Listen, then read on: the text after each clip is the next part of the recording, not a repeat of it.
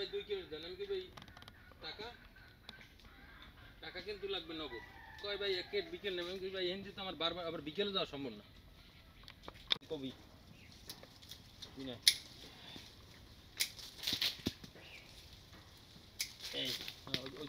দর্শক, নিউজ বরিশাল আপনাদেরকে স্বাগতম।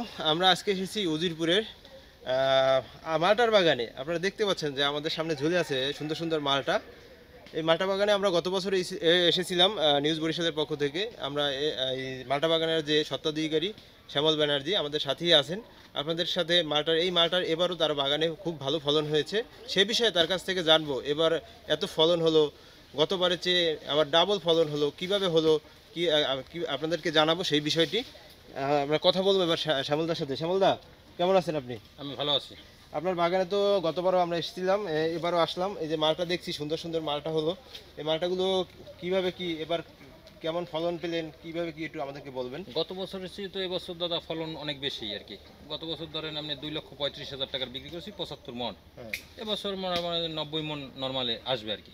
তাহলে আমার মনে করেন পাঁচচল্লিশ মনের মতো বিক্রি হয়ে গেছে আরও চল্লিশ পাঁচচল্লিশ মন বাগানে আছে আর কি।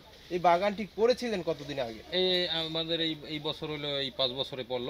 কিন্তু আমাদের প্রোডাকশন চার বছর।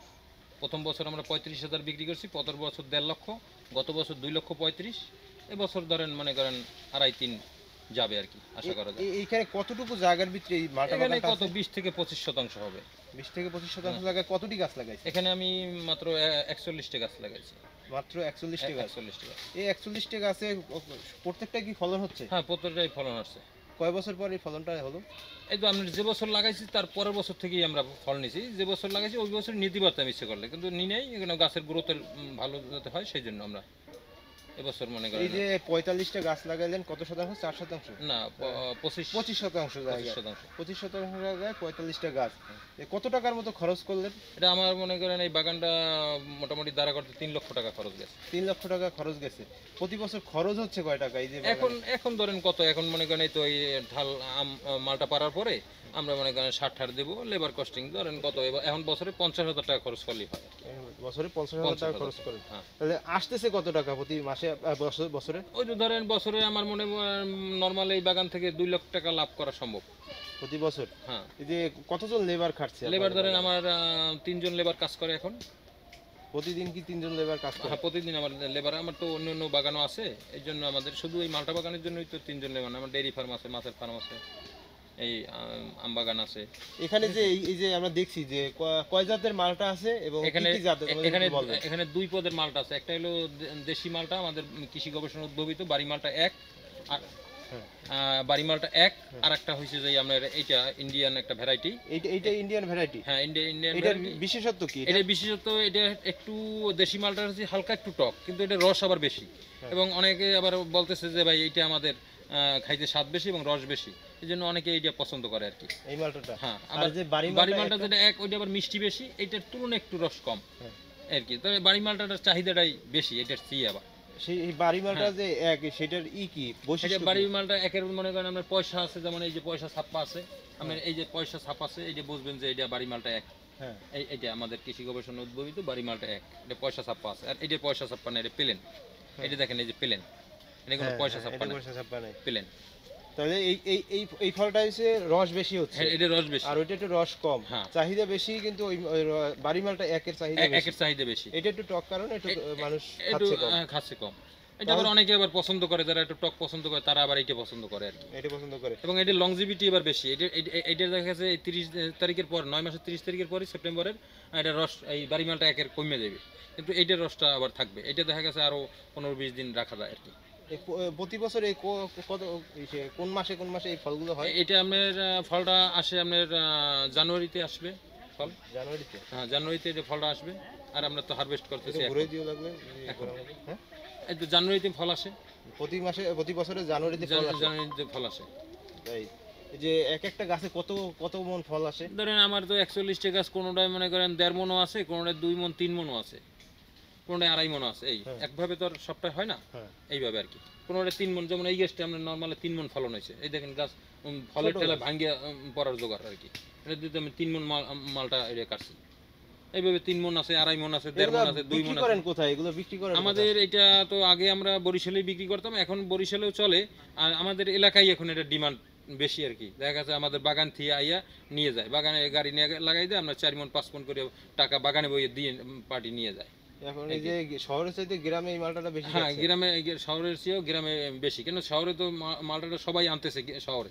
আর গ্রামে তো আর ওইভাবে আনতেছে না। ওই জন্য আমাদের গ্রামে এটা ডিমান্ড বেশি শহরের চেয়ে। আর আগে দেখা গেছে গ্রামের মানুষ চিনতো না হ্যাঁ। ওই জন্য শহরের মানুষটাই বেশি কিনতো। আর এখন গ্রামের মানুষ চিনে গেছে আমাদের দেশি মালটা। এই যে দেশি মালটার কেজি কত- করে বিক্রি করেন? এটা আমরা ধরেন একশো বিশ টাকা তিরিশ টাকা কেজি বিক্রি করি। হ্যাঁ। পাইকারি দেখা গেছে আমরা পাঁচ টাকা দশ টাকা কমে দিতে হয়। তাহলে তারা যদি বিশ তিরিশ টাকা বিক্রি করে তাদের যদি দশ টাকা লাভ না হয় তাহলে আমাদের কাছ নেবে কেন? বাজারে মানে কি একশো চল্লিশ টাকা দেড়শো হ্যাঁ হ্যাঁ একশো চল্লিশ দেড়শো এইভাবে পাওয়া যায় আর কি। আবার একটু ছোট সাইড হইলে যারা যারা গুড়ি টুড়ি বেছে ভ্যানে টানে হ্যাঁ। তারা ধরেন মনে করেন আশি নব্বই টাকা লাস্টে বিক্রি করতে করতে লাস্টে কিছু ছোট রয়ে গেছে ওইটা একটু কমে বিক্রি আমাদের দেশে এই যে আপনার বরিশালের বিভিন্ন এলাকায় এই মালটাটা চাষ হচ্ছে কিন্তু যে অনেকেই সফলতার মুখ দেখছে না। আসলে আপনাদের তাদের জন্য কিছু বলার আছে কি তাদের জন্য বলার আছে আসলে বাগান অনেকে ইউটিউবে দেখে বা এই দেখে বাগান করে। কিন্তু আসলে দেখা গেছে এটা করতে বলে প্রশিক্ষণের দরকার আছে এবং এটা প্রসেসিংয়ের দরকার আছে। আল্লাহরে ডাকা যে জিনিস, আপনি যে কাজে যাবে ওইভাবে যদি আপনি করা হয় তাহলে দেখা গেছে আপনার সাকসেসফুল আসবেই। হুম। এখন আপনার অনেকে দেখা গেছে লাগাইয়ে থুইছে, ওই সরকারিভাবে হয়তো একটা প্রজেক্ট দিয়েছে সে পাইছে। ওই লাগাই থুইছে, সরকারিভাবে কি দিল না না দিল এটা আসলে সরকার একটা উদ্বুদ্ধ করতেছে, আপনার চল্লিশটা চারা দিতেছে হ্যাঁ সরকার একটু ট্রেনিং দিতেছে, আপনার কিছু সার দিতেছে, এটা আমরা উদ্বুদ্ধ করতেছে। কিন্তু আসলে এই বাগানটা যেমন আমাকে সরকারিভাবে দিছে এটা তিন লক্ষ টাকা খরচ হয়েছে। সরকার কি তিন লক্ষ আমাকে দিছে? সরকার আমার চারা দিছে, হয়তো কিছু সার দিছে, এই পরামর্শ দিছে ট্রেনিং দিছে, এইটাই তো আমার অনেক কিছু। এইটা দেখেই আমরা মনে করছি, দেখা গেছে আমার এখন লাখ লাখ টাকা ইনকাম হইতে আছে কিন্তু পাবলিক যদি এটাকে আল্লাহরের ডাকা যে জিনিস ওইভাবে যদি মনে করে তাইলে দেখা যাচ্ছে এইভাবে বাগান সম্ভব। পরিচর্যা করতে হবে। দেখা যাচ্ছে আমার পাশেই একজনে বাগান করছে আমার একসাথে দেখা যাচ্ছে তার বাগানে এখন জঙ্গল। কেন সে তো পরিচর্যা করে না তার গাছ কিছু মারাও গেছে। হ্যাঁ। তারপর কিছু লেবু গাছ নিয়ে লাগাইছে কি করবে? কিন্তু ওটা তো প্রসেসিংটা করতে হবে। যখন এই বাগানে আজকে দেখবেন আপনি জঙ্গল নাই দশ দিন পর দেখবেন জঙ্গল বড় হয়ে গেছে। কিন্তু এগুলো তো পরিষ্কার করতে হবে। কারণ এই গাছগুলো এখন ছায়া পড়ছে এখন বেশি জঙ্গল হবে না। কিন্তু ছোট থাকে এটার পরিচর্যা বেশি করতে হবে যত পরিচর্যা করবে যত বেশি হ্যাঁ, তত লাভ- লাভবান বেশি হবে। লাভবান বেশি হবে। পরিচর্যাটা হলো মেইন আপনি মনে করলেন পোকা লাগছে হ্যাঁ আপনি করবেন যে দশ দিন পর হানি আমি ওষুধ দেবো তাহলে তো কাজ হবে না। আপনি পোকা যে সময় লাগবে ওই সময় মানে ওষুধ দিতে হবে। এবং আসলে কি আপনার পোকা লাগছে না মাকড় লাগছে এইটা আপনার আগে শনাক্ত করতে হবে। এটাকে আমাদের কৃষির ভাষায় বলে আয়সা করা। হ্যাঁ। আসলে আপনি বাগানে এসে দেখতে হবে আপনার কি এনে মাকড় লাগছে না পোকা লাগছে না রোগ লাগছে? আপনার বাগানে কি কৃষি কর্মকর্তারা আসে কিনা হ্যাঁ তারা কৃষি কর্মকর্তা আসে মাঝে মাঝে আমরা কৃষি কৃষি কর্মকর্তারা ভিজিট করে হ্যাঁ। যে আমাদের কোনো সুবিধা অসুবিধা আছে কিনা। আমরা দেখা গেছে তাদের কাছে বলি তারা সাজেশন দেয়। সেইভাবে আমরা আবার কাজ করি। এখন ব্যাপারটা হচ্ছে কি আসল কথা যে সরকারও চাইতেছে যে একজনের একটা বাগান দিছি সে ডেভেলপ হোক। এখন যদি সরকার যদি আমরা ঠেললে উঠে লাগে তাহলে তো সরকার সম্ভব। না আমাদের মনে করেন যে আমাকে ট্রেনিং দিয়েছে প্রশিক্ষণ দিয়েছে সার দিয়েছে চারা দিয়েছে এরপরে যদি আমি কিছু গায়ের পরিশ্রম না দিই কিছু আমার নিজের পকেটের টাকা খরচ এটা তো সরকার নিতেছে না। এটা আমি যে এখন লাখ লাখ টাকার মালটা বিক্রি করছি আমিই তো লাভবান হইতেছি। এটা তো আর আমি আরেকজনের দিতেছি না বা আপনাকে দিতেছি না। তাহলে আমার জিনিস যদি আমি আমার ভালো আমি না বুঝি তাহলে তো কিছু করার নাই। নিউজ বরিশালের পক্ষ থেকে শ্যামলদা আপনাকে অনেক ধন্যবাদ। দর্শক আপনারা শুনলেন শ্যামলদার কথা। নিশ্চয়ই ভালো লেগেছে। আপনারা উদ্বুদ্ধ হবেন এরকমের মালটা বাগান করার জন্য। তার মালটা বাগানে আপনারা দেখতে পাচ্ছেন যে কি সুন্দর সুন্দর মালটা হয়েছে। আসলে আপনাদেরকেও ভালো লাগল আপনাদের জানাতে পেরে। আশা করি আপনাদের উপকৃত হবেন এই মালটা বাগান দেখে। শ্যামলদা, আমাদের দর্শকদের উদ্দেশ্যে কিছু বলবেন কি না? দর্শকদের উদ্দেশ্যে আমি বলতে চাই যে মালটা বাগান আমাদের দক্ষিণবঙ্গে অনেক হয়েছে। কিন্তু দর্শকদের, আমি দেখতেছি অনেকের সমস্যা, আমার কাছে অনেকে পরামর্শ নিতে আসে, যেমন সেদিনকে পটুখালি থেকে আসে আপনার মনে করেন সারা বাংলাদেশ থেকে আমাকে ফোন দেয়। কেন আমার বাগান তো মনে করেন এই channel I twenty four AC TV BTV এগুলো অনেক ইসে প্রচার করছে। কিন্তু ব্যাপারটা বাজে আমরা দর্শকরা এই ইউটিউবের ই দেখা অনেকে উদ্বুদ্ধ হয় ঠিকই, তারপরে আবার পড়িয়ে দেয়। এই যাতে না পড়িয়ে যায় তারা যাতে মনে করেন কৃষি অফিসের সাথে যোগাযোগ করিয়া, আমাদের সাথে যোগাযোগ করিয়া, যাতে তারা সঠিক পরামর্শ নিয়া যেন বাগানগুলো করে। তাইলে তাদের লস হবে না লাভবান হবে।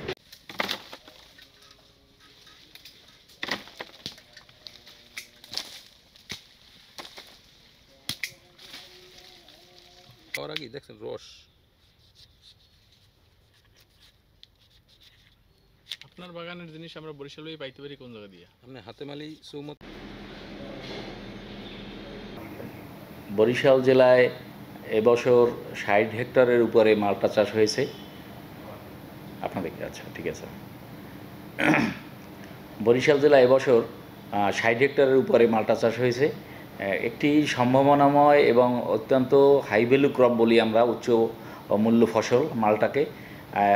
চাষির যথেষ্ট আগ্রহ দেখা গেছে এবং কৃষি সম্প্রসারণ অধিদপ্তর, আমরাও চাষিদেরকে এই মালটা চাষ করে লাভবান হওয়ার জন্য আমরা প্রতিনিয়ত পরামর্শ দিয়ে যাচ্ছি এবং কৃষি সম্প্রসারণ দপ্তর বরিশাল একটি পদক্ষেপ নিয়েছে যে যার বাড়িতে একটু উঠান আছে, যার একটা ছাদ আছে, মিনিমাম একটি করে হলেও জানি সে মালটা গাছ লাগায়, তার চাহিদাটা জানি পূর্ণ হয়। এ- এভাবে আমরা কাজ করে যাচ্ছি। তবে আশার আলো হলো যে, আমাদের এই পরামর্শে ইতিমধ্যেই চাষি সহ যারা শৌখিন চাষি তারাও ব্যাপারে আগ্রহ প্রকাশ করছে এবং সকলেই মালটা চাষের প্রতি আগ্রহ দেখাচ্ছে। এর ফলে দেখা যাচ্ছে যে প্রতি বছরই দশ বিশ হেক্টর করে আমাদের কিন্তু মালটা চাষ এগিয়ে অগ্রগামী হচ্ছে আমাদের চাষাবাদ। তো আমরা চাচ্ছি আমরা ইতিমধ্যেই বিভিন্ন প্রকল্পের মাধ্যমে আমরা চাষিদেরকে উৎসাহিত করার জন্য আমরা প্রদর্শনী আকারে আমরা মালটা চাষের আবাদ বাড়ানোর চেষ্টা করতেছি। এবং এই দেখা দেখি অন্যান্য পার্শ্ববর্তী কৃষকও মালটা চাষের উপর আগ্রহ দেখাচ্ছে।